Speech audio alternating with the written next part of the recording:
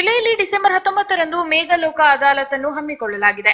ಒಟ್ಟು ಮೂವತ್ತೈದು ಸಾವಿರದ ನಾಲ್ಕುನೂರ ಐವತ್ತೆಂಟು ಪ್ರಕರಣಗಳಲ್ಲಿ ಶೇಕಡ ಇಪ್ಪತ್ತರಷ್ಟನ್ನಾದರೂ ರಾಜಿ ಸಂಧಾನದ ಮೂಲಕ ಇತ್ಯರ್ಥಪಡಿಸುವ ಗುರಿ ಹೊಂದಲಾಗಿದೆ ಎಂದು ಹಿರಿಯ ನ್ಯಾಯಾಧೀಶರು ಆಗಿರುವ ಜಿಲ್ಲಾ ಕಾನೂನು ಸೇವೆಗಳ ಪ್ರಾಧಿಕಾರದ ಸದಸ್ಯ ಕಾರ್ಯದರ್ಶಿ ಟಿ ಗೋವಿಂದಯ್ಯ ತಿಳಿಸಿದರು.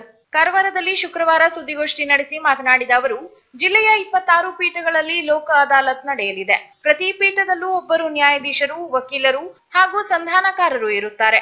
ಕೋವಿಡ್ ಕಾರಣದಿಂದ ಹಲವು ಪ್ರಕರಣಗಳ ಇತ್ಯರ್ಥವಾಗಿಲ್ಲ. ಮೋಟಾರು ವಾಹನ ಕಾಯ್ದೆ, ಕ್ರಿಮಿನಲ್ ಪ್ರಕರಣಗಳು, ಆಸ್ತಿ ಪಾಲು ಕಲಹ, ಭೂಸ್ವಾಧೀನ ವಿವಾದ ಮುಂತಾದ ವಿವಿಧ ಪ್ರಕರಣಗಳನ್ನು ರಾಜಿ ಸಂಧಾನದ ಮೂಲಕ ಇತ್ಯರ್ಥಪಡಿಸಿಕೊಳ್ಳಬಹುದು ಎಂದರು. ಇನ್ನು ವರ್ಗಾವಣೆಯ ಲಿಖಿತಗಳ ಅಧಿನಿಯಮದ ಅಡಿಯಲ್ಲಿ ದಾಖಲಾದ ಐದು ಸಾವಿರದ ಎಂಟುನೂರ ಆರು ಪ್ರಕರಣಗಳು ಇತ್ಯರ್ಥವಾಗಲು ಬಾಕಿ ಇವೆ.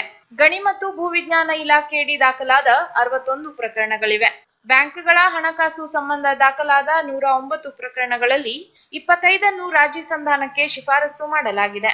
ದಾಂಪತ್ಯ ಕಲಹದ ತೊಂಬತ್ತು ಪ್ರಕರಣಗಳ ಪೈಕಿ ಎಂಬತ್ಮೂರನ್ನು ರಾಜಿ ಸಂಧಾನ ಮಾಡಲು ಉದ್ದೇಶಿಸಲಾಗಿದೆ. ಒಂಬೈನೂರ ಎಂಬತ್ತೊಂಬತ್ತು ಸಣ್ಣ ಪುಟ್ಟ ಪ್ರಕರಣಗಳು ಬಾಕಿ ಇವೆ ಎಂದು ಮಾಹಿತಿ ನೀಡಿದರು.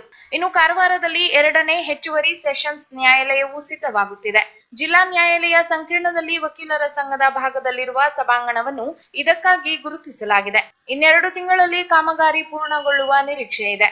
ಬಳಿಕ ಮಕ್ಕಳ ಸ್ನೇಹಿ ನ್ಯಾಯಾಲಯದಲ್ಲಿ ಸಂಪೂರ್ಣವಾಗಿ ಮಕ್ಕಳಿಗೆ ಸಂಬಂಧಿಸಿದ ಪ್ರಕರಣಗಳ ವಿಚಾರಣೆ ನಡೆಯಲಿದೆ ಎಂದು ಇದೇ ವೇಳೆ ಮಾಹಿತಿ ನೀಡಿದರು.